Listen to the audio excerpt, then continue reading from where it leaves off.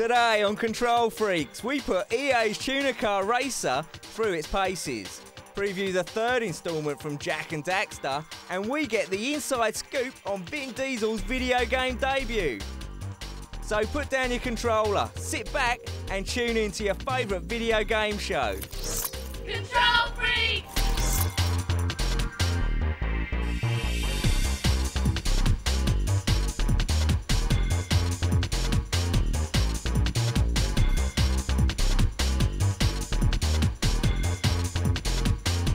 Things are definitely heating up in the next generation console race, and it's now likely that Microsoft will be the first manufacturer to release their next gen hardware with an early to mid 2005 release for Xbox 2, currently codenamed Xenon. After a few years of Xbox playing catch up with PS2, Microsoft wants to get a good head start before Sony's PS3 makes it to the market sometime in 2006. Sony's PS3 easily boasts the best specifications, but there is a good deal of speculation that the initial retail price will be high. Add to this the expected late arrival of the hardware, and it's clear why Xbox wants to hit the market as soon as possible.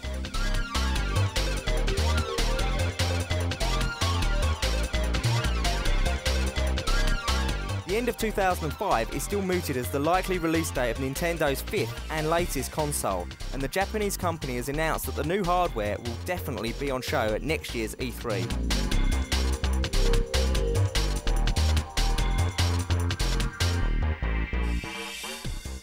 San Francisco is to hold this year's 2004 World Cyber Games Grand Final. The competition will bring 700 champion gamers from 64 countries to compete for world titles and prize money worth $400,000. Launched in 2000, the World Cyber Games has grown to be the world's most popular festival for digital entertainment, and more than 1 million gamers are expected to participate in this year's online and offline events. Eight official games will be played at this year's finals, including StarCraft Brood War, Unreal Tournament 2004, Warcraft 3 The Frozen Throne, Counter Strike Condition Zero, Need for Speed Underground, and Project Gotham Racing 2.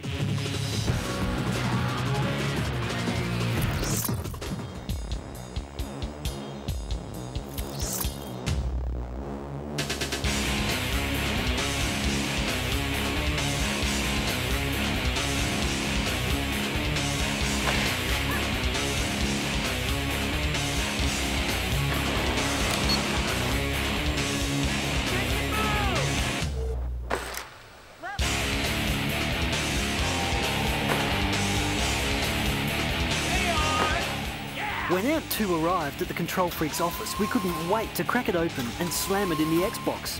The anticipation was reaching fever pitch. Well, we couldn't wait. Like any game based on tricks and the like, it's a good idea to do the tutorials. If you can stand the cheesy voiceover guy long enough to get through them, you'll pick up vital tips to rack up the points. Try to jump from the sweet spots of at least six of this area's jumps. One, two, three, aw, four. As usual, your course options are limited until you prove yourself. There are only a couple of runs to play on. Having said that, it won't take you long to meet the early challenges and open up the game.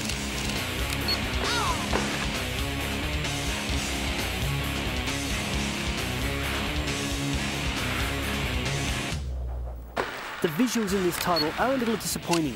Cutscenes and mountain flybys are spectacular, but actual gameplay graphics didn't meet expectations. As for the replay mode, take a look at this.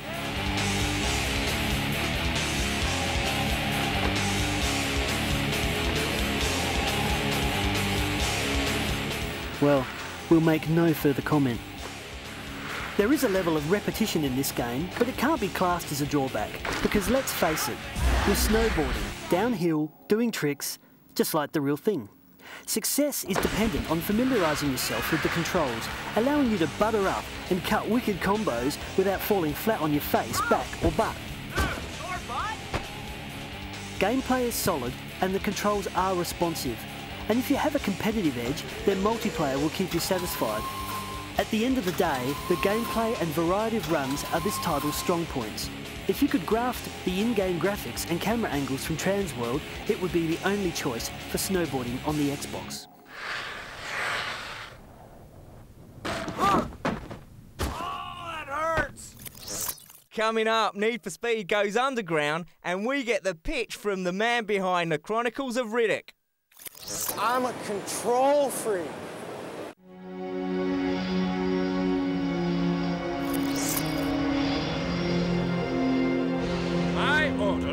Grand Council of Haven City, for heinous acts and crimes against the people, you are hereby banished to the wasteland for life. May the precursors have mercy on you. Our boy here gets all mean and nasty when you piss him off. So don't piss him off. Word to the wise.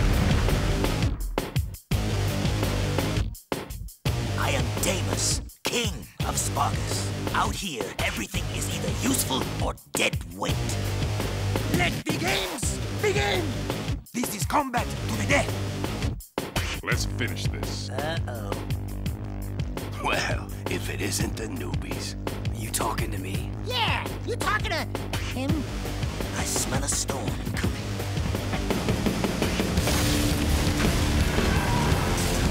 The battle for the city has just begun. Jak, your friends need you. The city threw me out. They can rot for all I care. I'm through saving the world. Don't you remember who you are? This dark eco freak is dangerous. Hate consumes your eyes. It will destroy you. We Need to attack their hive from below, and the sewers are the only way in right now. I'd say good luck, but then luck won't help you.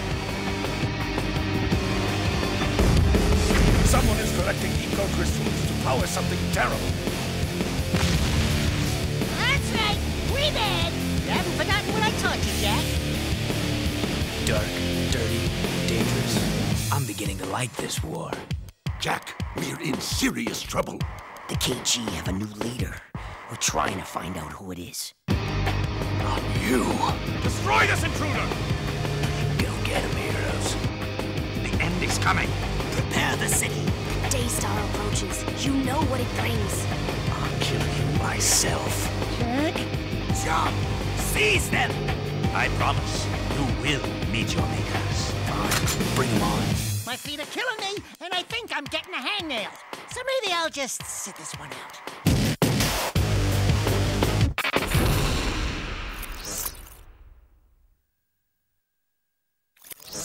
Samus hits the small screen in her quest to track down and defeat the life form mimicking X-Parasite in Metroid Fusion for the GBA. With classic Metroid music and effects, the sound has surprising depth and quality for a GBA game. The 2D side-scrolling graphics are reminiscent of Super Metroid for the Super Nintendo Entertainment System, only fine-tuned with lots of diversity in the level design. Samus's controls handle great, with notable improvements like the ability to hang from ledges, climb walls, and travel across overhead ladders. Although helpful for beginners, there's a bit too much assistance from the navigation computer, which takes away from the exploration factor in this reasonably short game. Linking up to the GameCube won't do much for Fusion players, but it does activate a new suit for Samus in Metroid Prime, plus unlocking the original Metroid game for use on the Cube. Another piece of the Metroid puzzle which will have you fused to your GBA.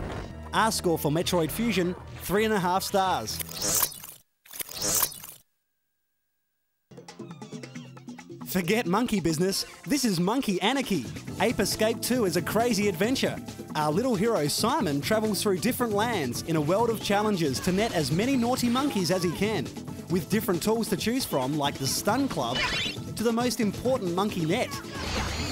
You'll need to use all types of guerrilla tactics at every stage of the game. Ape Escape 2 is entertaining and challenging enough for all ages, so don't let that monkey get away from you. Three and a half stars. Sonic the Hedgehog, with all his moves and antics, has even more to battle and collect in Sonic Advance 2.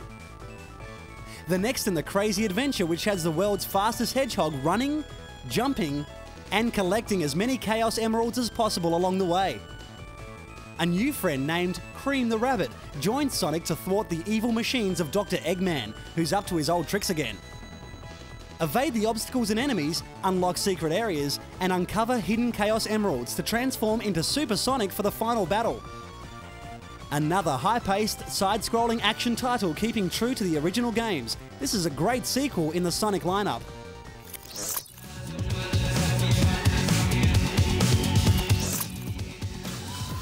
The Need for Speed franchise has been a winner for EA over the years, and the next instalment of the series, Need for Speed Underground, will not disappoint.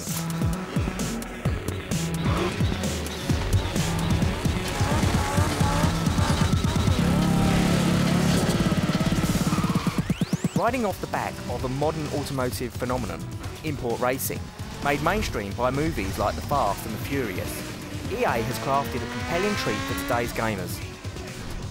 Aimed directly at fans of arcade-style racing, Need for Speed Underground boasts some of the most impressive graphics seen today, bundled with quality sound effects and gameplay.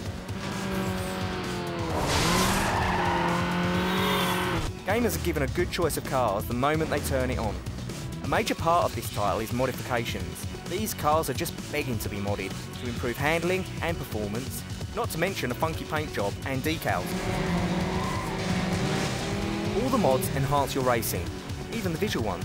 Using a point system similar to Project Gotham Racing, drivers accrue points for style, as well as speed on the track. Hey, loser.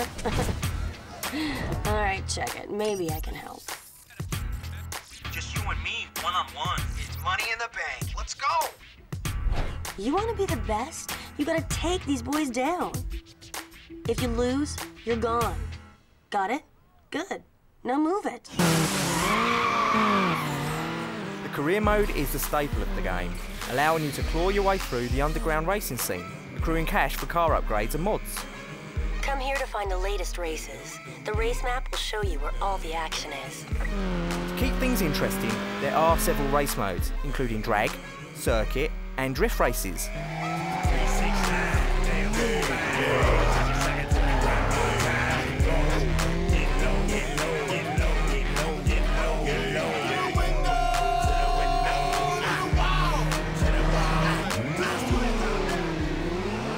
Over 20 tracks to race, but they do look very similar. Having said that, the graphics are stunning, and although the visuals can be a little bit over the top at times, the gameplay graphical quality is surpassed only by Colin McRae 4 on the Xbox. Hey, what you think? You digging it? Then you gotta win. No racing cred, no cool parts. The only disappointing aspects of this title is the lack of any vehicle damage, not even a scratch.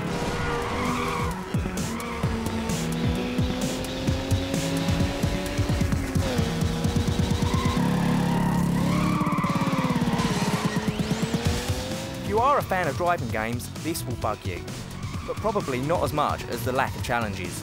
You still have to drive, and drive well, but you won't have to struggle to get enough cash for your next mod.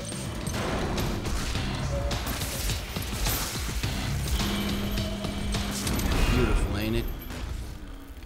I gave them the edge, and they blew it. You think you're better? Prove it. And maybe I'll help you out. Need for Speed Underground is a very playable, visually spectacular instalment in an ever-growing series.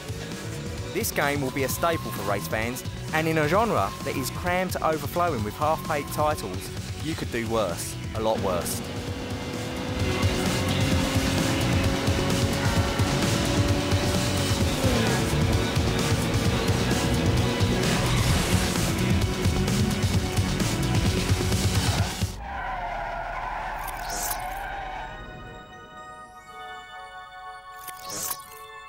Dragon Realms, all is not well. The fallen dragon, Red, is using the dark gems to poison the life of the world.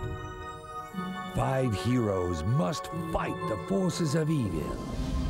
Spyro, Hunter, Sergeant Byrd, Sparks, and the newest comrade, Blink. Now is the time. Let the battle commence.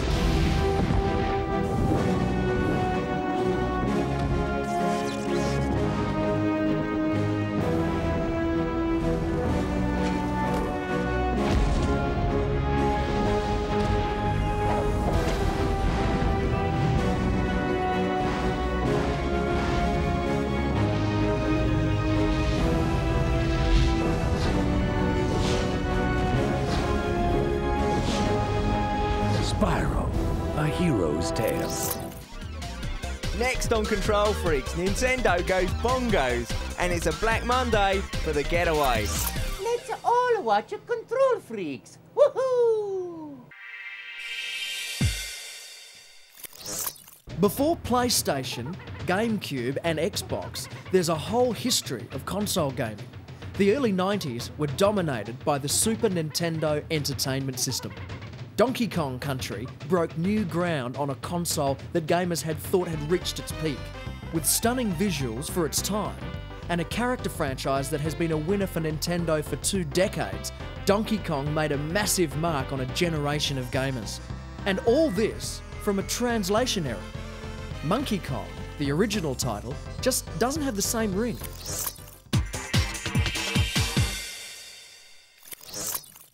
Fans of Pitch Black will recognise a new title in the lineup for 2004.